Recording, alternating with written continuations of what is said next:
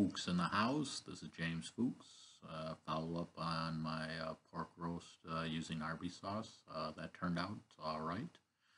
Uh, basically went with a paprika, garlic pepper, and uh, Arby's sauce, and finished the leftovers this afternoon for lunch. Like I uh, tried something different, and it wasn't bad. And got outside a little bit in the 50s uh, here, and the weather. Uh, got out a little bit, time flew by. All of a sudden, it's like Sunday evening. Um, do a follow up in regards to uh, mentioning some family movies.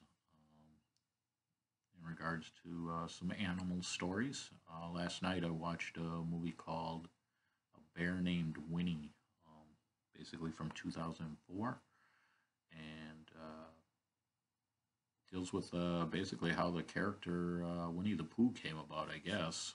Um, enjoyable movie. Um, so that's one movie, and then uh, another bear movie called The Bear from uh, 1988.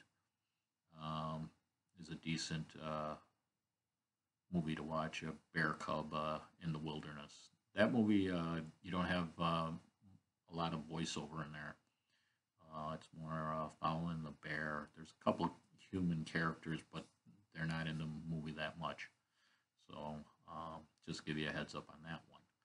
Uh, two other movies, uh, one from the 80s again, uh, Milo and Otis, uh, 1986. Uh, that has Dudley Moore uh, doing a voice for one of the characters.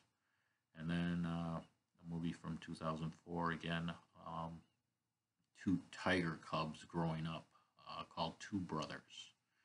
So uh, there's a, a few movies to watch uh, for the with the family on a Sunday evening, possibly. So take it easy. Have a good one, everybody.